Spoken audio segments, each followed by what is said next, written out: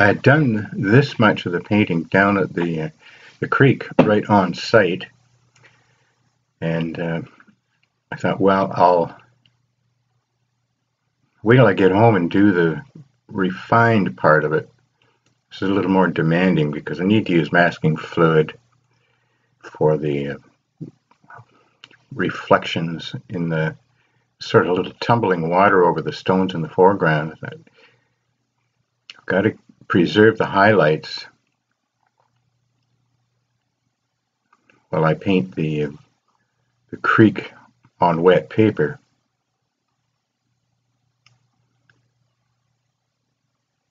So the uh, I don't put any um, soap or anything on the brush before I put the masking fluid down. It's not on there long enough for me to really worry about it. If I was going to be spending a, you know, 15, 20 minutes or so working with it, I'd probably use a little bit of dish detergent on the brush and then wipe it clean just so it would release the the dried masking fluid as it accumulates, but I, I rinse it out if it starts to cake up. It's pretty annoying stuff, really, this, but uh, I don't see any other way of solving this problem. Now, I put out a little bit of uh, cobalt blue and a little bit of um, yellow right out of the tube because I'm going to be jumping back and forth a lot between those two pigments and this helps to uh, keep the wells from getting too contaminated because I'm going to you know splotch a bunch of leaves on this. I used a bit of raw sienna and cobalt blue for the the leaves and a bit of the sky showing through when I was painting on site there. That's that's just a a little dab. I think I've had some new gamboge kicking around. It's not one of my regular palette colors, but always find doesn't really matter what yellow you use. It's just to get a variety of greens. There's different ways of, of applying texture to busy places like this. Just splatter it a little bit.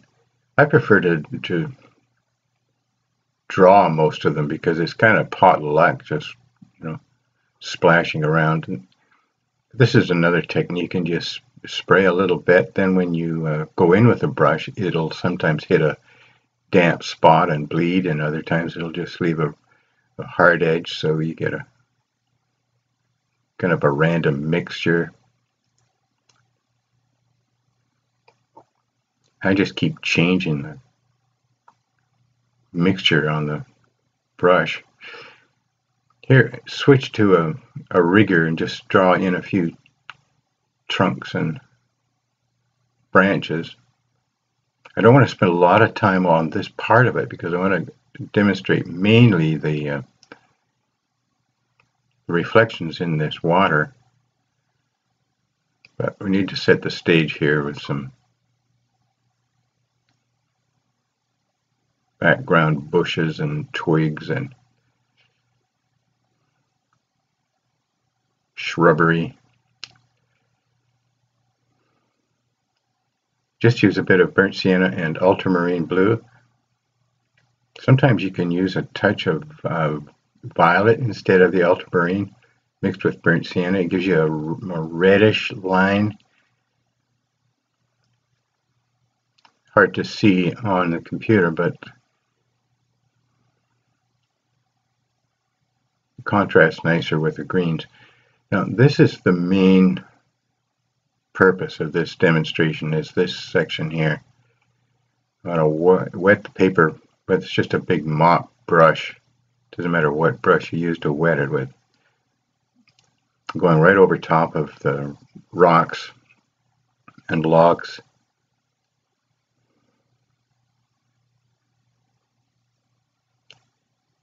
That's sort of the area I want to work with that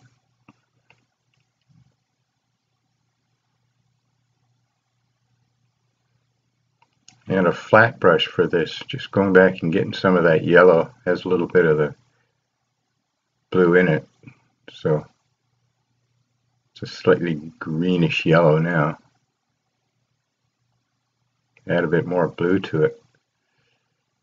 Just want a whole bunch of different uh, yellows and greens being reflected. the water is moving so it kind of distorts the reflections around. You can get away with using your imagination on this stuff.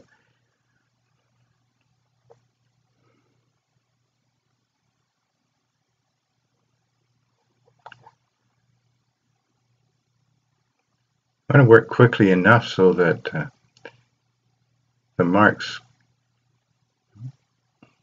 hold out their shape, but they leave a a soft edge at the same time. That white bit in the center is going to be a dark reflection from that stump.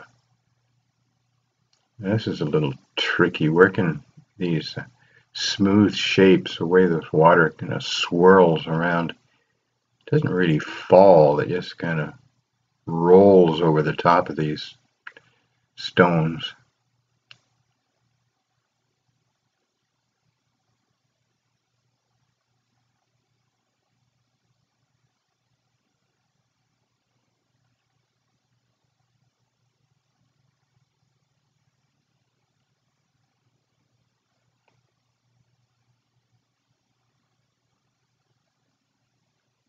I've used a bit of uh, raw sienna too. If you don't want the yellows too bright, you can switch down to something yellow ochre, kind of the same color as raw sienna.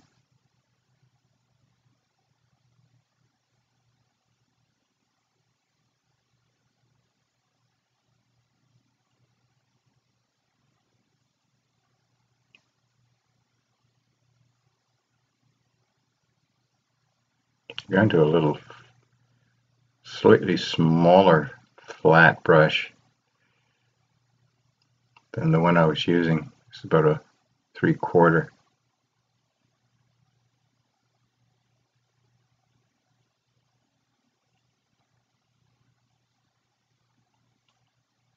It's getting quite dry now, so the marks are holding up even better.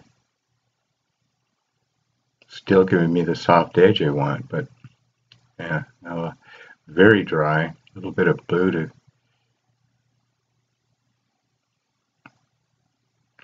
give that rushing part of the water. And while it's still damp enough. I can get just a few more darks. A little more pattern. There's so much pattern in my reference photo, I'll never be able to get that much. But I just want it to be sort of pleasing. It's all in, an interpretation. Now it's dry, totally dry, and I'm going to take the masking fluid off. You see it got quite a bit lighter when it dried too. Just using tape with a sticky side to lift that very gently. It's got to be totally dry or you will tear the paper.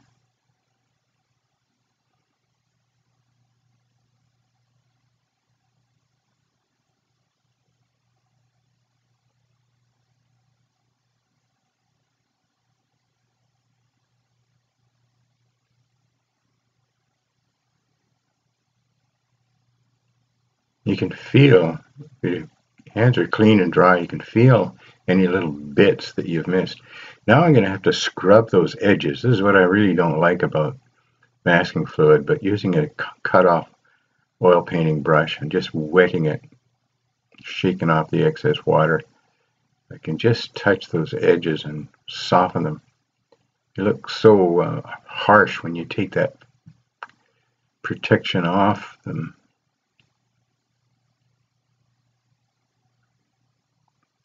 It's kind of a tedious little job to go in and just blend those edges.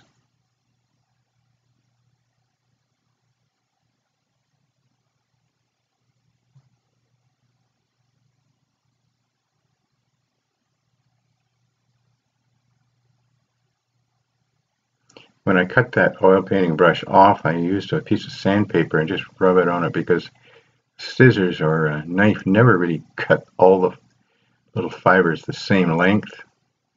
So it helps to wear them down with a bit of sandpaper to get them nice and even.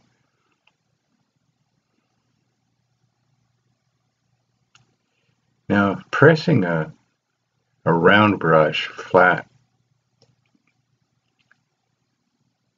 will let you kind of feather the edges. You're just using a little darker mixture of the same greens.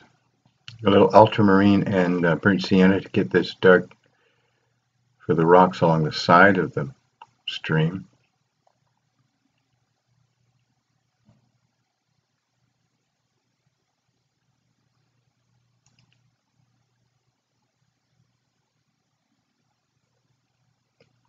my light's coming pretty much from the top, but a little bit off to the left, so thinking that the only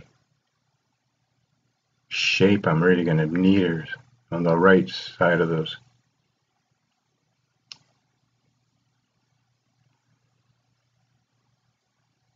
Got a little bit of uh, transparent yellow. You, you, you don't have to use any, well, just a any transparent yellow. Indian yellow works. Um, New Gamboge works.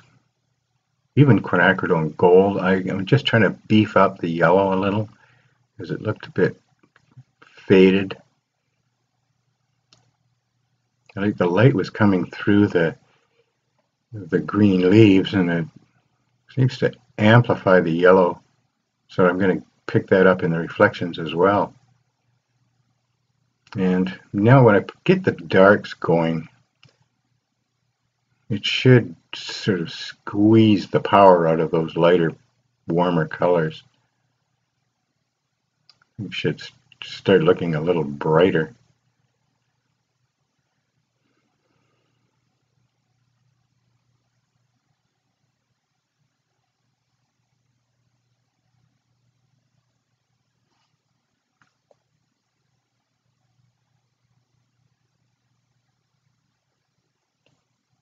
Know, back to my old faithful burnt sienna with ultramarine in it. Get these browns for the for the logs.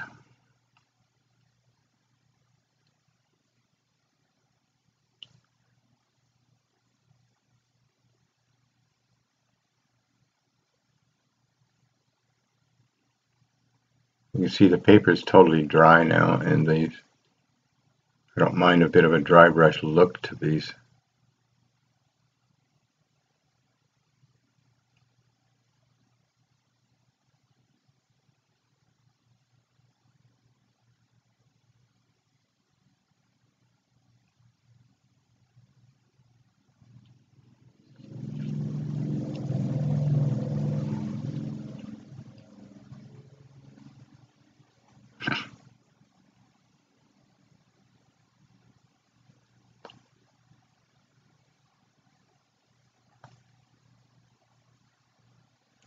Yeah, I know some of this is kind of fiddly, but it's only going to be in a small area. I need something in this composition to, to kind of get your attention.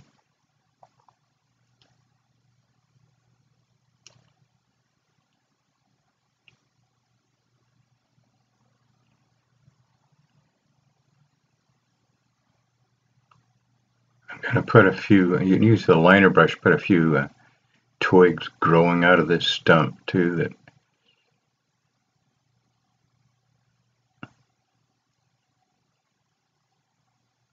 give it a bit of a lacier look.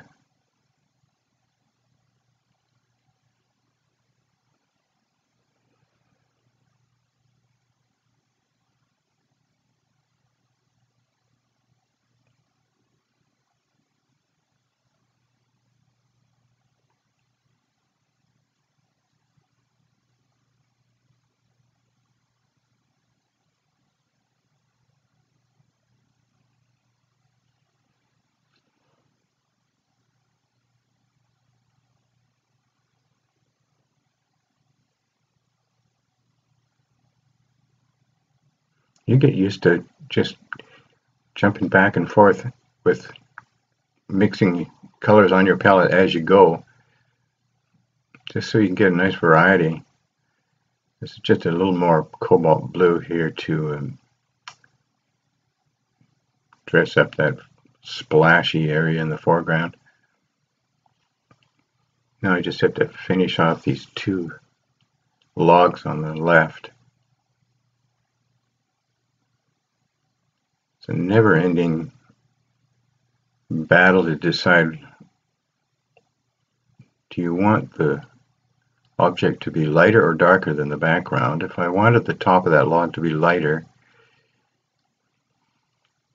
I would have had to go in and make the water darker, which I didn't really want to do. I didn't want to mess up that wash that's already there, so I'm just making this slightly darker than the background on the top and then quite a bit darker on the bottom of this log to give it roundness.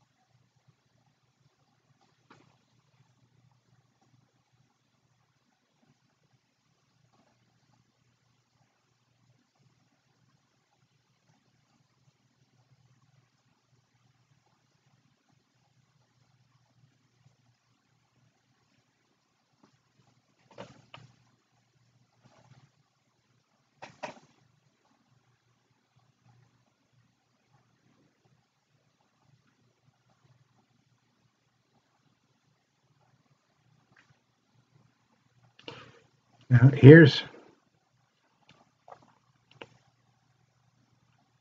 what I'm doing with those round brushes when I get dry brush effect. Just make sure the mixture on the palette is really dry and it's just almost blends like a pastel. You press it down and, and you can feel when the when the brush is uh, going to stay spread but yet still has enough paint on it. It's worth practicing that. That's the final result.